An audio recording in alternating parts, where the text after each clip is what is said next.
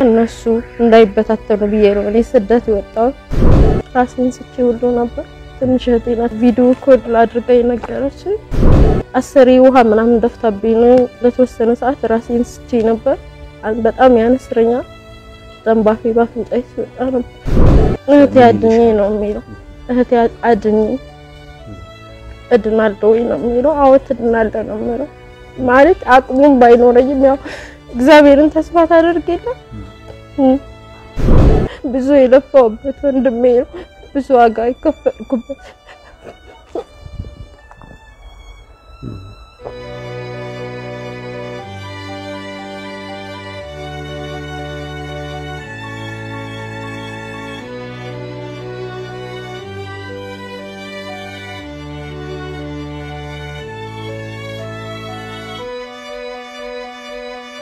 ስሜ ፈሩታ ይባላል። ተወልጄ ያደግኩት ወልዲያ ከተማ የተወለድኩበት ሙጋድ አካባቢ። አዎ አንቺና ወንድምሽ በተለይ ቤተሰቡ ከበድ ያለ ነገር እንዳጋጠማችሁ ሰምተን የተገናኘ ነውና ወደ እሱ ከመሄዳችን በፊት ወልዲያ ከተማ የነበረው አስተዳደጋችሁ የቤተሰባችሁ ሁኔታ ምን ይመስል ነበረ? አባታችን እያለ በጣም አባት ከሚባለው በላይ ነበር። አባታችን አስተዳደጉ ልዩ ነበር።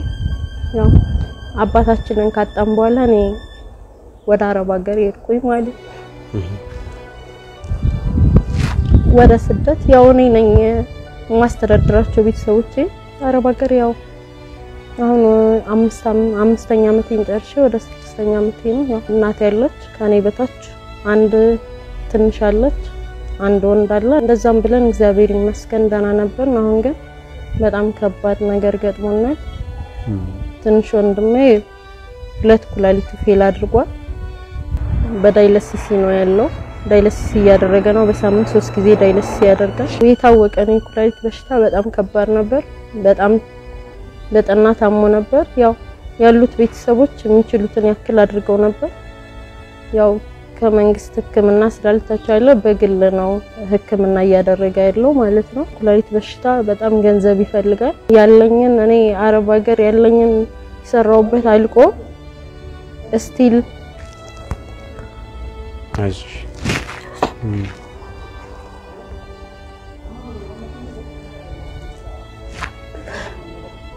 ያለኝን ጨርሼ still ያለኝን ጌጣጌጥ ሀብል ምናምን ነበር እሱንም ጭምር ሽጬ ነው። ከባድ ነው። ከዛ በፊት በጣም ደክሞ ስለነበር እዚህ አሁን ካለንበት የረር ሆስፒታል ነው እየታከመ ያለው እና አብሮ ዳይለሲስ ሲያደርግ አብሮ የሚሰጡ መድኃኒቶች አሉ። እነሱም በጣም ውድ ናቸው። በሳምንት እስከ 20 ሺህ ብር ድረስ ይወጣል። ያው ወንድሜ እኔ እዚህ ደረጃ ይደርሳል ብዬ አላሰብኩም ነበር። አሞትም አያውቅም ከዚህ በፊት ደም ግፊት ተብሎ ነው የጀመረው። ስራ ይሰራል ብዬ የሆነ ነገር ሱቅ ነገር ይጀምራል ብዬ ሳጠራቀመው የነበረውን አሁን ለሕክምና የዋለው ማለት ነው። እና እኔ ስወጣም ለቤተሰቦቼ ብዬ ነው የወጣሁት። ለምን አባታችን ያው እግዚአብሔር ይመስገን እንደማንኛውም ሰው ጥሩ ኑሮ ነበር የምንኖረው። እሱን ስናጣ እነሱ እንዳይበታተኑ ብዬ ነው እኔ ስደት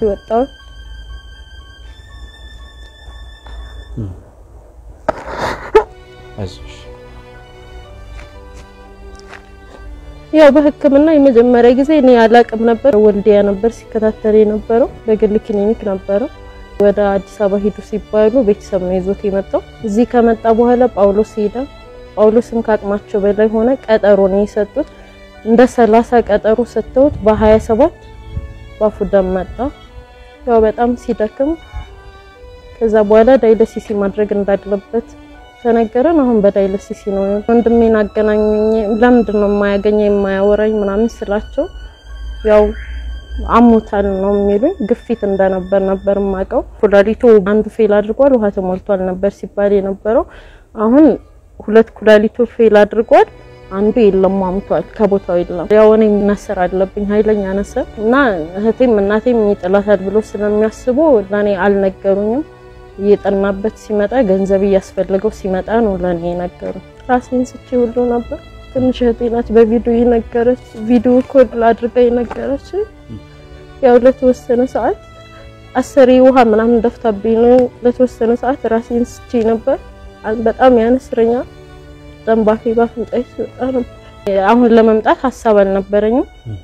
እኔ ነኝ አሁን የምለግሰው ኩላሊት ኩላሊት ለመለገስም ነው የመጣሁት። አሁን ሜዲካል አድርጌ እኔ መለገስ እችላለሁ እና በቃ አቅማችን ስለማይፈቅድ መላው የኢትዮጵያ ሕዝብ ወድ ቤዳድሩት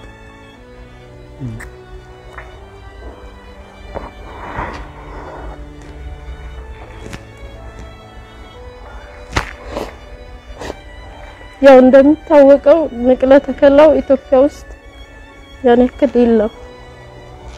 ስለዚህ ውጭ ሄዶ ነው ያንን ደግሞ እኔ የማደርግበት ወላ ቤተሰብም የሚያደርግበት አቅም የለው። ገና ሩጦ አልጠገብ ሀያ ሶስት አመት ልጅ ነው። ወንድሜን አትርፉልኝ። ያው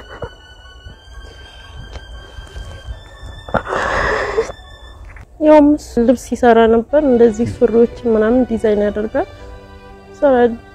በጣም ለምን እህቴ አትመጭም? የራስሽን ኖሮ ለምን አትኖሪም ነበር? ትንሽ እህቴ ማለት እሷም ወልዲያ መድኃኔዓለም እዛ ትምህርት ቤት ውስጥ መምህር ነች። ያው ተሳስበን ነበር የምንኖረው።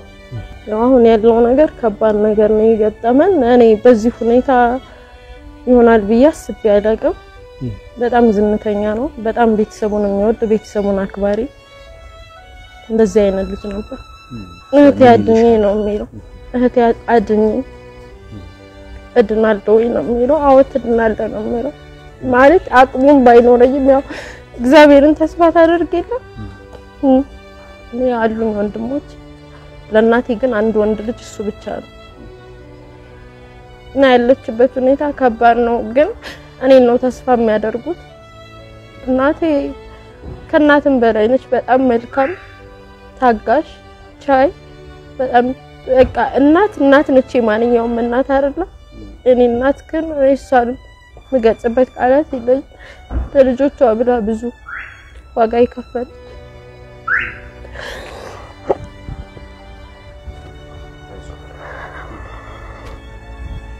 ያው ድካም አለው ድካም አለው። ልቡን ያደክመዋል። ብዙ ማውራት አይችልም። እንቅልፍ እንቅልፍ ይለዋል። ብዙ ሰዓት ረዝም ሰዓት ነው የሚተኛው። ያው አይንቀሳቀስም ነበር። አሁን ትንሽ walk ስናስደርገው አሁን dialysis እያደረገ እያለ አሁን እግዚአብሔር ይመስገን። ያው ግን ልጅም ስለሆነ ቶሎ ንቅለ ተከላ እንዲደረግለት ብለዋል ዶክተሮቹ፣ የከፋ ነገር እንዳይመጣበት ለረዝም ዓመት dialysis ማድረግ አይችልም ልጅ ነው ብለዋል። ሌላ ተጓዳኝ በሽታዎች አሉ፣ ግፊት፣ እንደ ደም ማነስ፣ እንደ ስኳር ያሳያሉ። የኩላሊት በሽታ ራሱ ይሄን የሚፈጥራቸው ነገሮች አሉና ረዝም ዓመት ይጨርሳል። ልጁም ያው ንቅለ ተከላውን የማድረጉ chance ኡ አይኖረውም ማለት ነው እና አቅም የለንም። ያው ህዝብ ከረዳም ብለን አስበን ነው። እኔ ለመላው ኢትዮጵያ ህዝብ የማስተላልፈው በቃ ወንድሜን አትርፉልኝ፣ ወንድሜን አድኑልኝ። አቅሜን አንጠባጥፌ ጨርሻለሁ እና የሚችል በገንዘብ የማይችል በጸሎት በሀሳብ እባካችሁ ወንድሜን አትርፉልኝ። ብዙ የለፋውበት ወንድሜ ነው። ብዙ ዋጋ የከፈልኩበት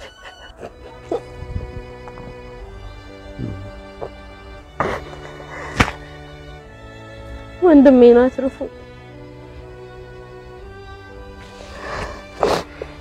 ስልክ ቁጥሬ 09 69 88 69 29 ስልክ ቁጥሬ ይሄ ነው።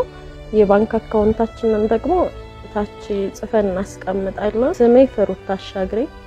እባካችሁ ወንድሜን አድኑልኝ፣ ወንድሜን አትርፉልኝ።